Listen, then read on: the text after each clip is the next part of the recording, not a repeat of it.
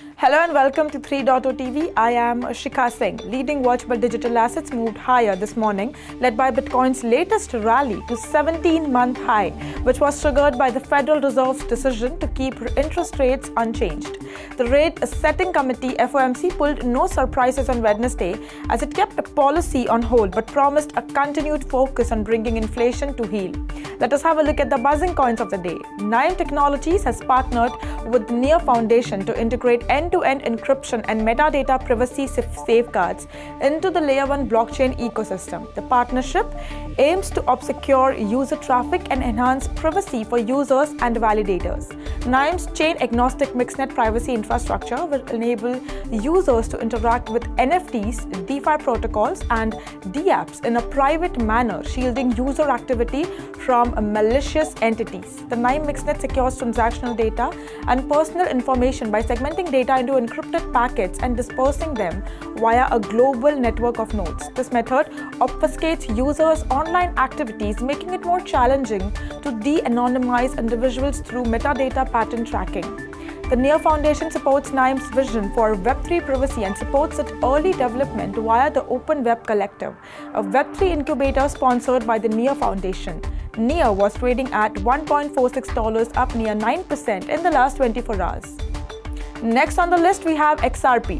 Ripple Labs has moved 70 million XRP to capitalize on the surges in its ongoing lawsuit against the SEC, uh, making XRP a popular choice for investors.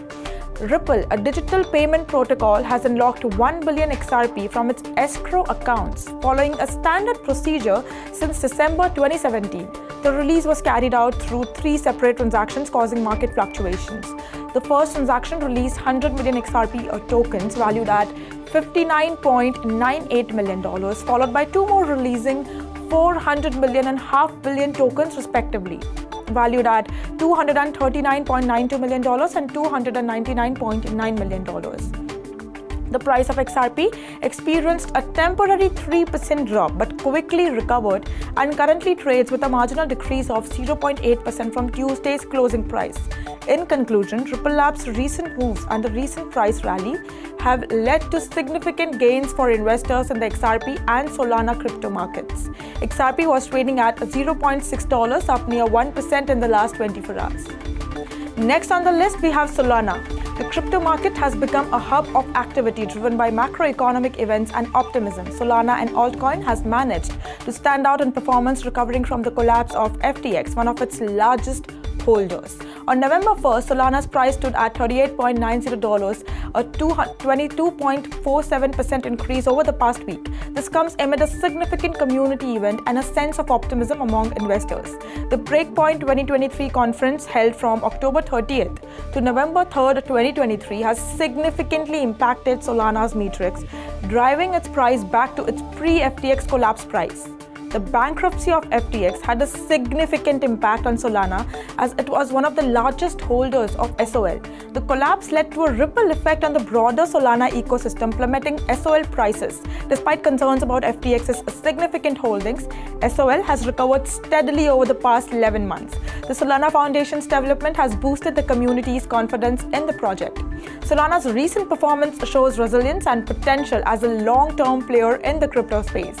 Solana was trading at $43, up 12% in the last 24 hours.